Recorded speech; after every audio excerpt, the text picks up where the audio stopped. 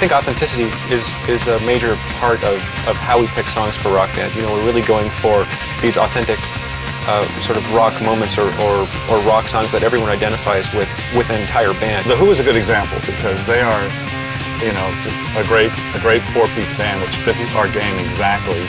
Um, you know, they have a, a great drummer that everyone admires and great guitar. They have everything.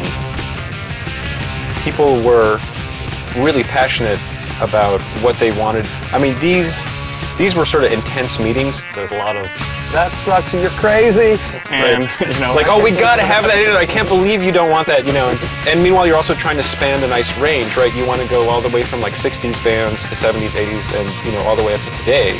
and and genres. We want to have you know some metal, some hard rock, some punk rock, some classic rock. We want to have all that kind of stuff. We really wanted to focus in on the on-disc songs to make sure we kind of really nailed those. Those were supposed to be, you know, really representing the core of what rock band is. On the disc, we're going to end up with a large percentage of master recordings this time around, which is great. There's a certain real energy that happens when you're playing a live show.